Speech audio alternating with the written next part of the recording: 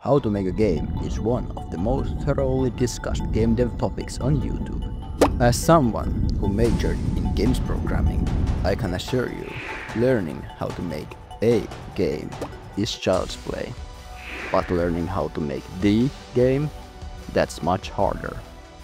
So, I'm giving you an alternative approach. It all comes down to this. A game design document. GDD. And hear me out. This is the easiest step. Everyone can write words on paper. You don't need experience in art, code, or anything else. Just writing a solid design document instead of keeping it all in your head is a bigger step towards making your game than most people ever take. Right now, your game idea is probably like this a blurry, low resolution image in your head. If you just jump into a game engine and start dragging things around, you will end up with a mess that even you don't want to play. A GDD forces you to break your blurry image down into sharp, high resolution puzzle pieces. You have to write it all down. Be as thorough as possible. Let's say your idea is Pokemon, but with guns. That's not an idea, it's a prompt. Your GDD forces you to answer the real questions. How does it look? How does it play? Do you have the gun? Or does your Pokemon have the gun? Is it turn-based? Is it a shooter? Your first GDD will be messy. It won't be perfect. But learning how to make a game from a document instead of from a vague feeling is a crucial skill in both professional and personal game development. Now, a GDD can get a little overwhelming. Luckily, the internet is full of tutorials on how to write a solid one. And to help, here's a quick list of what a GDD should generally include. Searching how to for each of these topics will help you understand game creation on a much deeper level. And here is the real secret.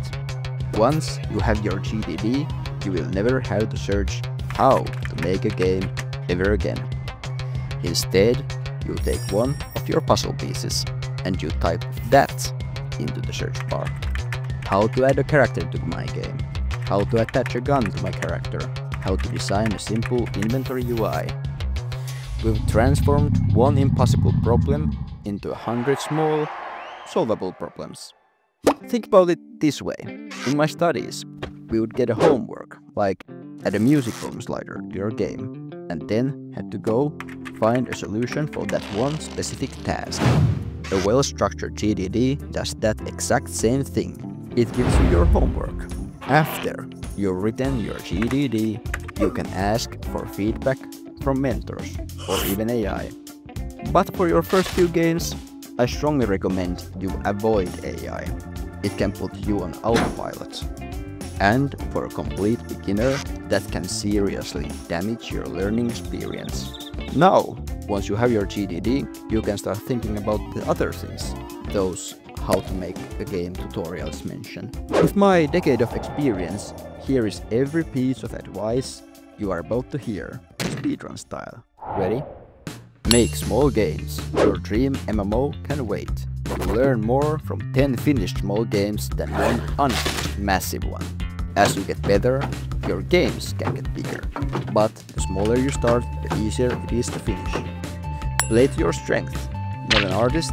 Make your code. Do the heavy lifting with insane mechanics. Not a coder, amazing art and music can carry a game a long way. A masterpiece doesn't have to be perfect at everything, but it should aim to be perfect at something. Social media isn't an option. Making a game in 2025 means you need feedback, visibility, and wish lists. It's much easier to get funding if you can show that thousands of people are already following your game.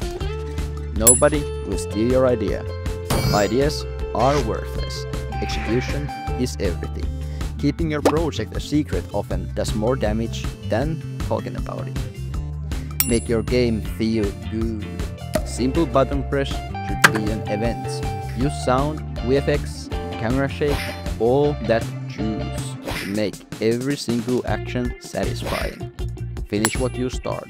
The last 10% of a project feels like 90% of work, but an unfinished game isn't a game at all. And remember, you decide what finished means. Fail fast. You see your game through different glasses than everyone else. Don't spend years on a project that nobody wants to play. Now you are ready. If you still feel like you don't know how to make a game, go watch those other videos.